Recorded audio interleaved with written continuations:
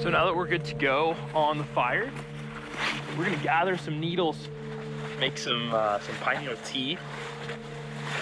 We've got here just some, actually I think this is a, I think this is a spruce. So we'll gather some spruce needles. This spruce tea is loaded with vitamin C, which is just a, an imperative thing to have in your diet. Just absolutely essential.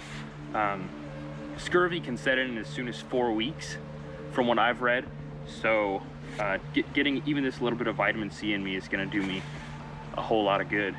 It's also delicious. The deciding factor of whether it's really, really good or not is just that perfect mix of bird poop and ashes from the fire. So if you get the right combo, you're good to go with this stuff.